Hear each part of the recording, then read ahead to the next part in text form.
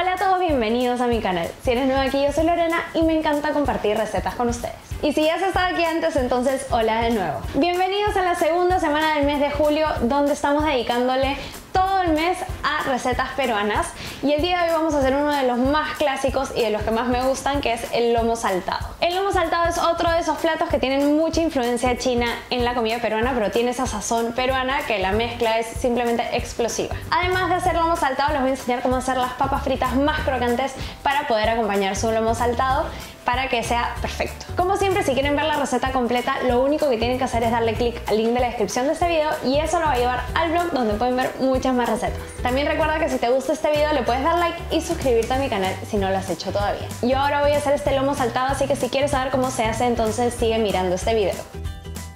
Vamos a empezar con las papas. Las papas yo ya las pelé y las corté y las tengo en agua con bastante sal. Y esto lo que va a hacer es que las papas empiecen a botar agua por el proceso de osmosis y se van a quedar un poco más sequitas, que es lo que queremos para la papa frita, porque hace que sea más crocante.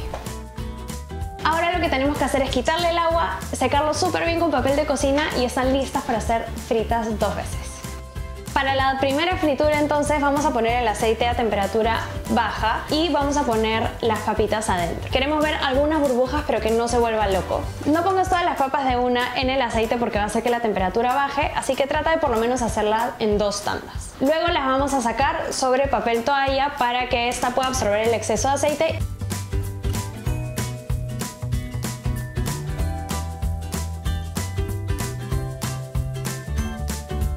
y subimos la temperatura a temperatura media. A esta temperatura las vamos a volver a freír, pero esta vez esperando que se pongan doradas por fuera y eso va a hacer que sean crocantes por fuera y suavecitas por dentro.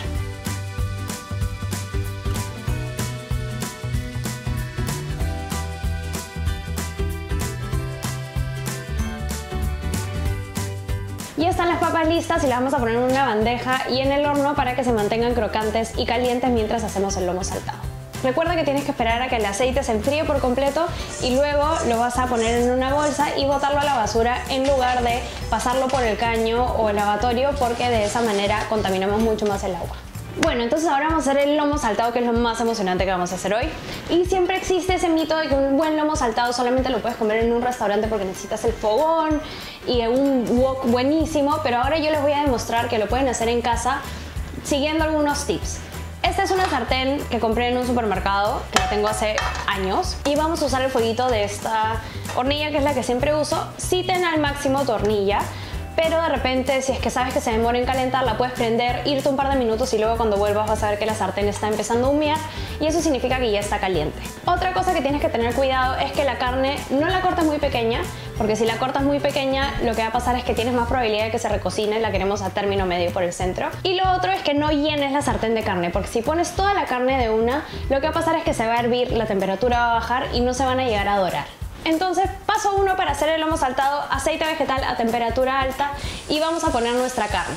Recuerda no llenarla, mientras más débil sea tu fuego, la menor cantidad de carne que quieres poner a la vez. Cuando pongas la carne no la muevas mucho porque entonces va a perder la oportunidad de volverse dorada. En este punto le vas a echar sal y pimienta a la carne.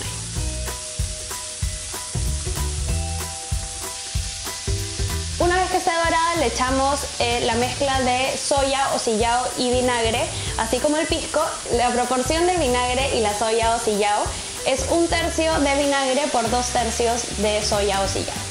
Y el vinagre y el pisco cuando se empiezan a evaporar lo que van a convertirse es en azúcar que va a espesar un poquito nuestra salsa y darle más sabor.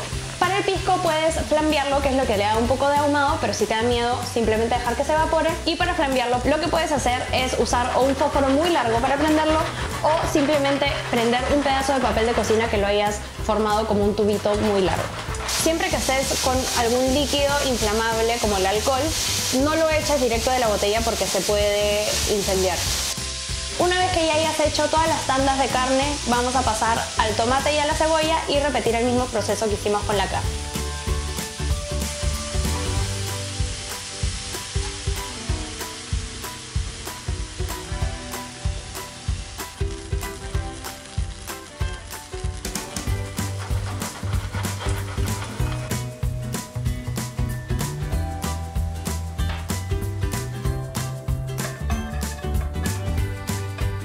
final puedes recalentar todo junto en la sartén para asegurarte de que esté muy caliente.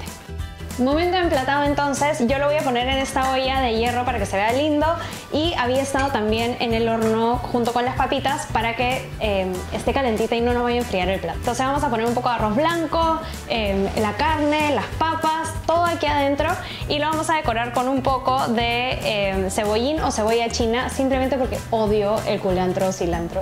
Pero si a ti te gusta, entonces lo puedes decorar con eso también.